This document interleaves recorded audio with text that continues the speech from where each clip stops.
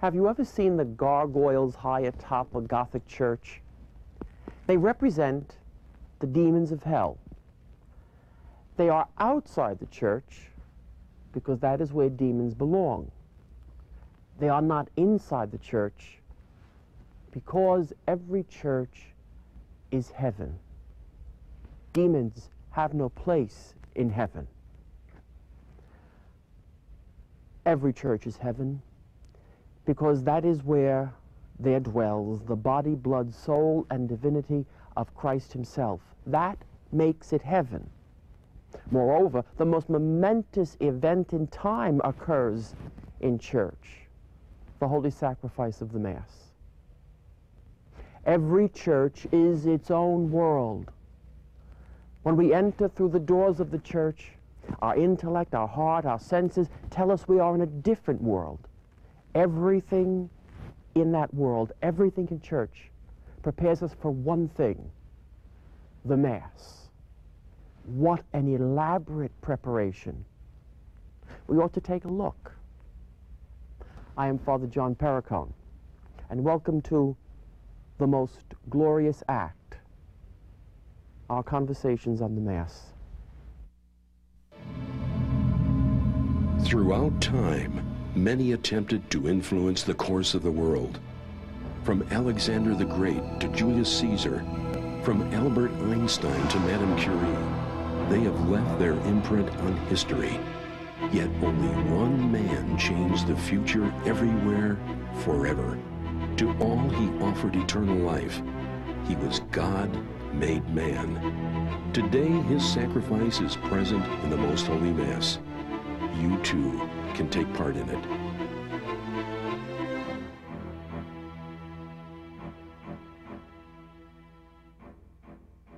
The liturgy is so rich that, you know, no, many, no, no matter how many times you participate in the, the Mass, the Holy Sacrifice of the Mass, it's like you hear different things different times. I mean, there's just always new phrases or, or newer understanding that I think can come to us over a lifetime.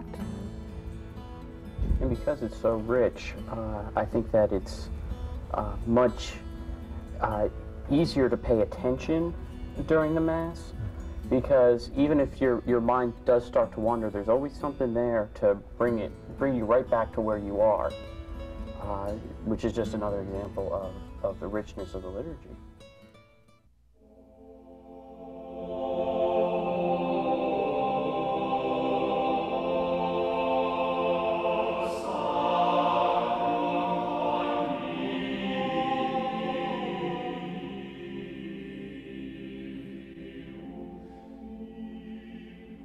Church has always taught that man needs things before he understands.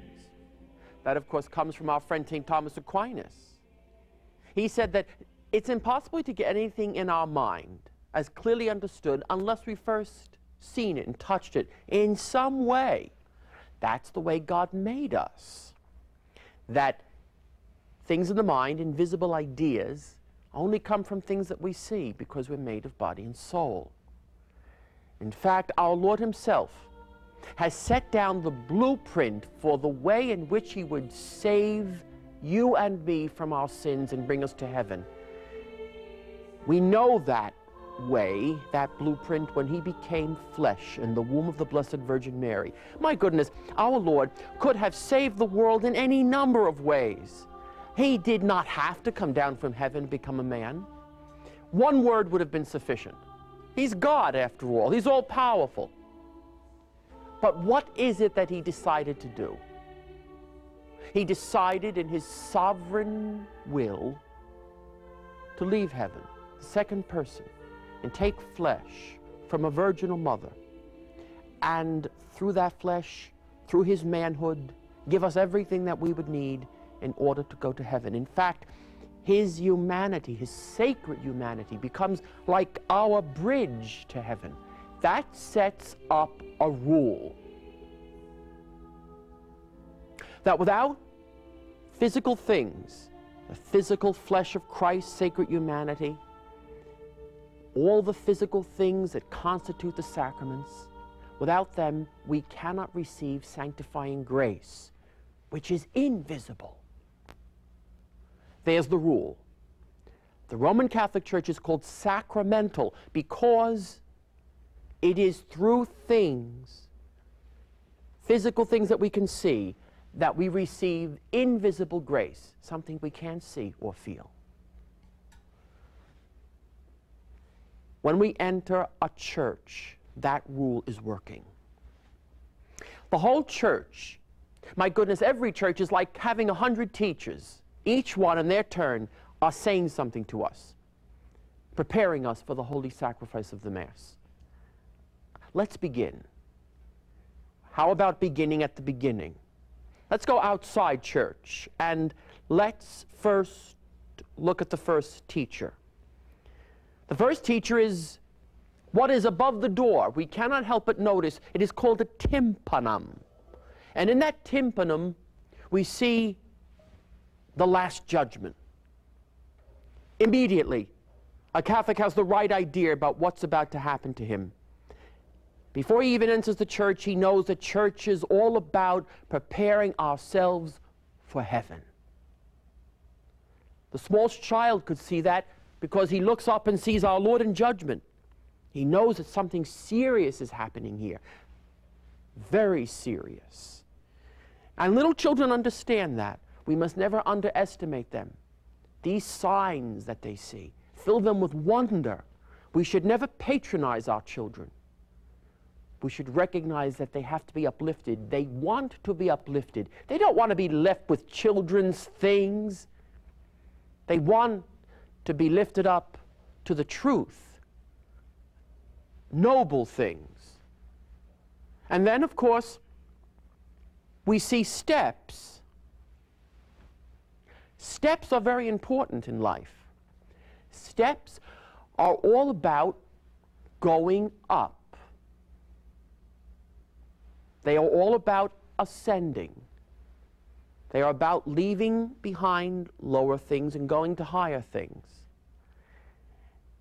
When we speak about heaven, we talk about it being up there. We know it's not up there. But why do we say that it is up there? Because it has to do with height, higher things. We are always going for higher things. We talk about achieving a higher knowledge.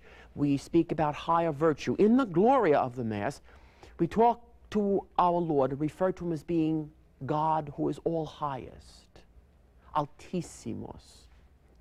And the steps are reminding us of that. What do steps involve? They involve me moving my feet. So what's happening is that soul and body are moving together. I'm going up toward something.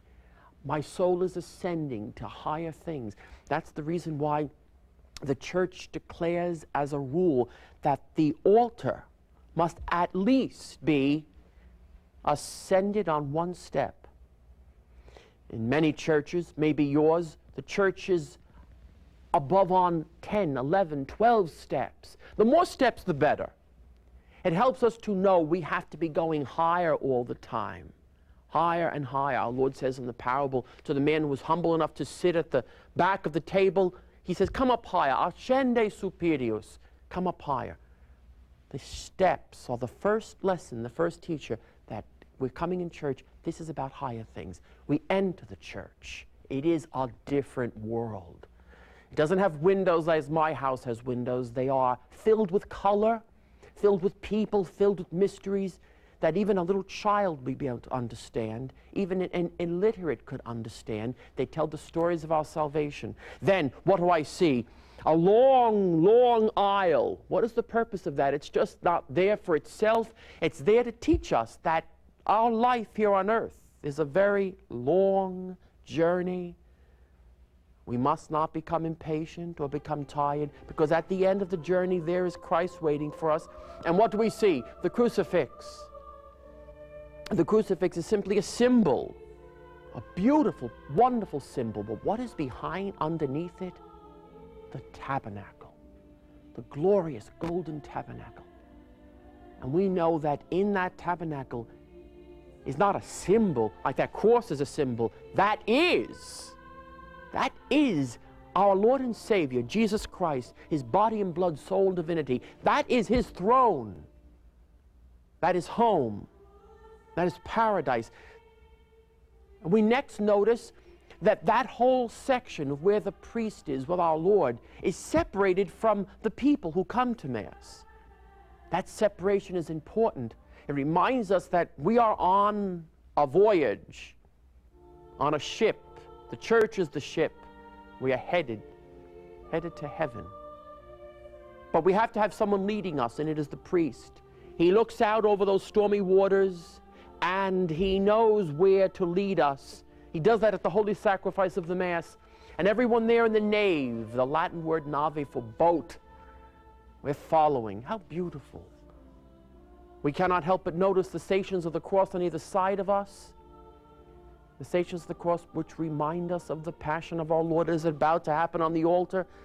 We've noticed before we came in the holy water the holy water font, which reminds us of that important baptism, the thing that gives us the power to be able to come to Mass, but it also reminds us that we need to be purified, to be purified of our sins, because those sins are the only thing that can keep us from our Savior. Everything we described so far is all clutter unless we use those things properly, properly in the spirit that the church intends.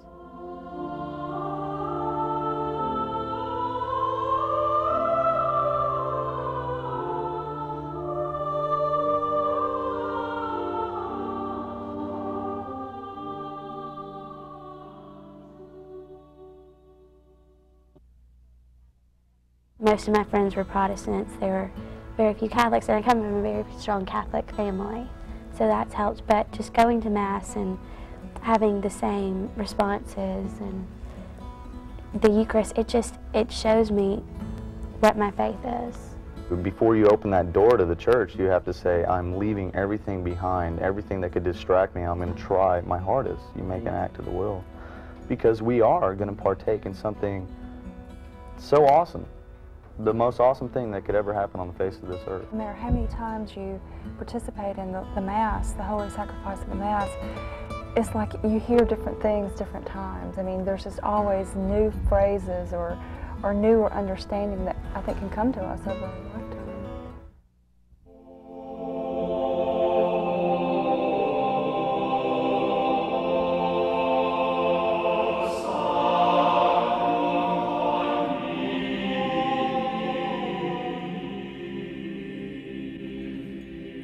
Every beautiful thing that we find in a Catholic church altars, paintings, stained glass, holy water, kneelers, and crucifixes become so much clutter when a man is not attentive.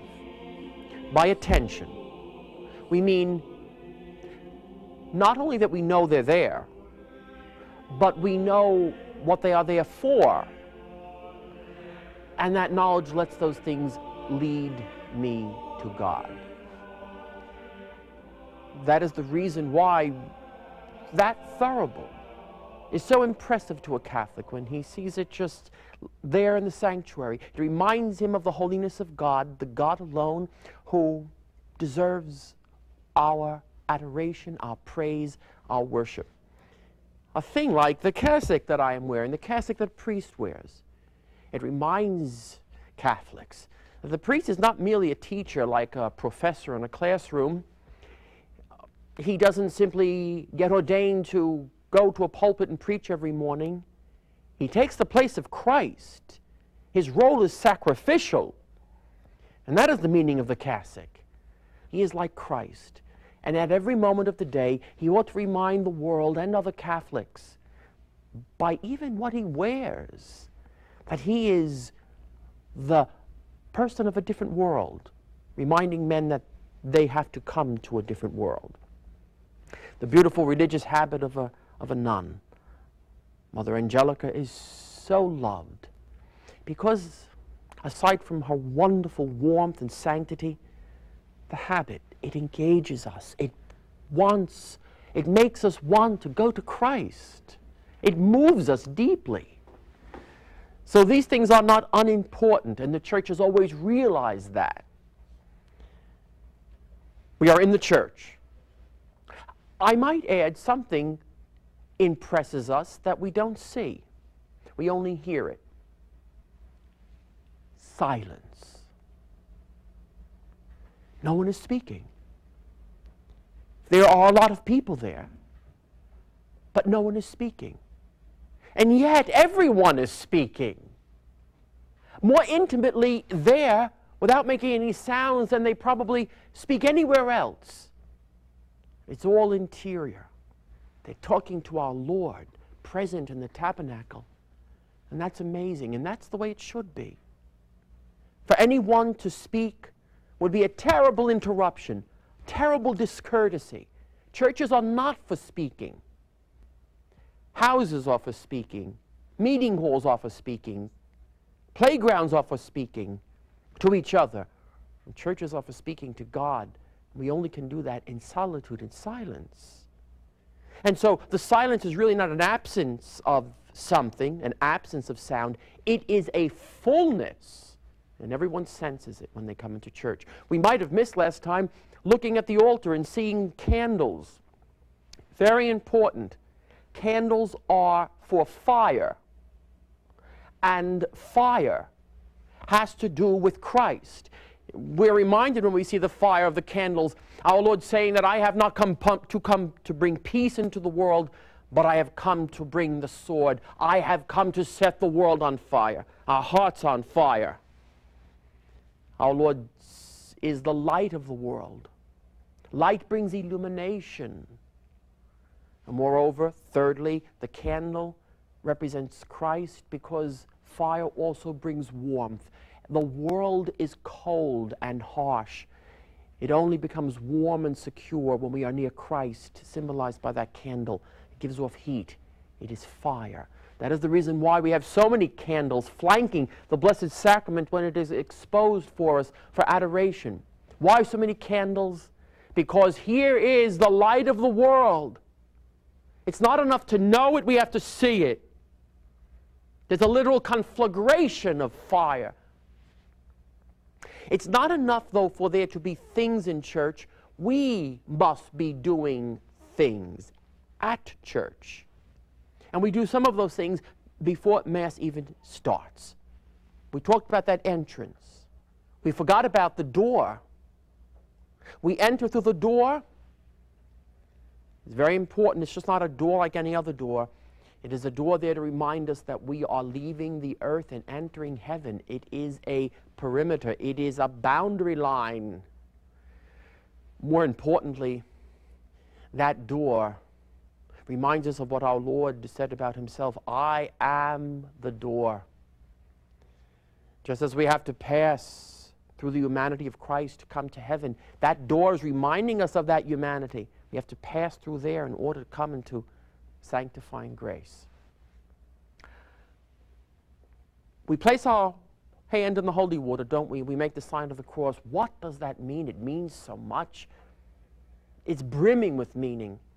The first meaning is that our Lord on Calvary, represented at Holy Mass, has saved you and me to the very fiber of our being. Everything is saved. And that is the reason why we make the sign of the cross it goes from the top to the very tip of our feet to side to side to remind us, and important we make it carefully, to remind us that our Lord has saved everything about me and everything in me must serve him. It is the sign of the cross because what is it that saved me? Calvary. Calvary, made, about to be made present on the altar the sign of the cross is so important. We must never take it for granted. It is also the sign, of course, of the Blessed Trinity that the Mass is glorifying every time that it takes place. The sign of the cross, I then move up that long aisle that reminds me of the pilgrimage that is left for me to travel on earth. And what is it that I do? I make a genuflection. I place my knee to the ground. How important that is. Don't ever forget to do it. It is a marvelous act. Romano Guardini says in his beautiful work, Sacred Signs, that it is good for the soul for us to make genuflections and to kneel. What happens when I genuflect? I reduce my size by half. I know that. I know that I stand in order to show someone my full stature. I stand so as to express my full dignity. I stand to impose my presence on someone else. When I genuflect, when I genuflect, I recognize that I am in submission to someone else. I am half what I should be, and that's as it should be. When I'm coming before the presence of Almighty God, I kneel. I make that genuflection to the ground. And as I do, I'm thinking of our Lord in the New Testament. I'm thinking of the storm on the Sea of Galilee and how when our Lord stills the waters, St. Peter, what does St. Peter do? He falls to his knees. Depart from me because I am a sinful man. The natural thing, falling to his knees because he's in the presence of God. Perfectly natural for you and I. I think of St. Thomas, don't you? St. Thomas in the upper room when he had been denying that Christ was really appearing to the apostles. And then our Lord stands there before him and smiles and said, Thomas, here, put your finger in my the hole in my hand and in my side. And now be not unbelieving, but believing. What does St. Thomas do? He falls to his knees. He bows his head and he says, Have mercy on me, a sinner, my Lord and my God. We kneel. Kneeling is so important. At many times during the sacrifice of theirs, we'll be doing something with our hands. We'll be striking our breast. The striking of the breast is so important. St. Jerome used to have a rock that he pounded his breast with. What does that mean? It means I'm waking myself up. I'm waking myself up from my indifference, from my complacency, from my sins. It also means that I am punishing myself. I realize that I have done so much not to deserve Christ. And now I'm beating myself for it. I do that when, when I say, Lord, have mercy. When I say, Lamb of God who taketh away the sins of the world, have mercy on me. Lord, I am not worthy to receive thee. All, all of this preparation brings us to the brink of Christ's action at Mass. That supernatural action of our Lord requires much attention to many details. Whether the details are stained glass windows or the crucifix, whether it be our genuflection or quiet recollection, each one is an important step in our approach to Christ. A soul unprepared receives less of Christ. Not that Christ is not there eager to come into souls, but he only enters where he is wanted. That desire can only be cultivated by you and me. The church will help us with the sacramentals, sacred things, sacred art, but ultimately, the work of preparation depends on you and me. I am Father Perricone. Please join me next time for the most glorious act, our conversations on the Mass. Till then, God bless you.